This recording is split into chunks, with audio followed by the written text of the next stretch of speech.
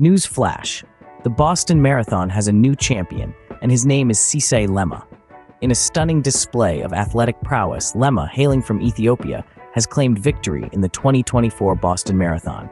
He didn't just win, he dominated, clocking in at 2 hours, 6 minutes, and 17 seconds. That's the 10th fastest time in the race's history, folks. The day began as any other, but there was an electric buzz in the air.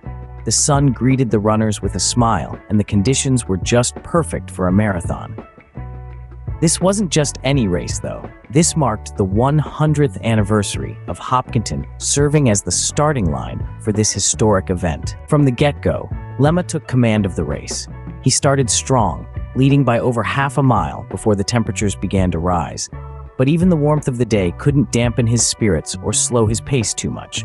His fellow countryman, Mohamed Esa, trailed behind him, eventually finishing second, while Evans Chebet of Kenya secured the third spot.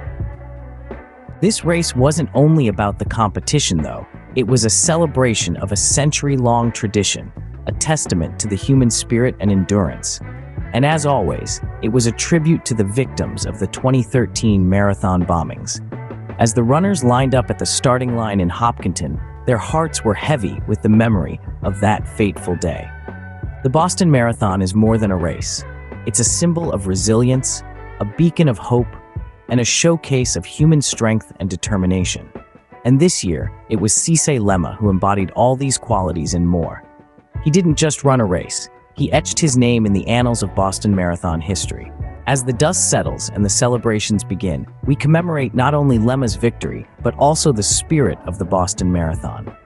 Here's to 100 years of Hopkinton as the starting line, and here's to many, many more.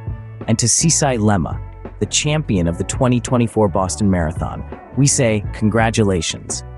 Your victory is a testament to your grit, your determination, and your love for the sport.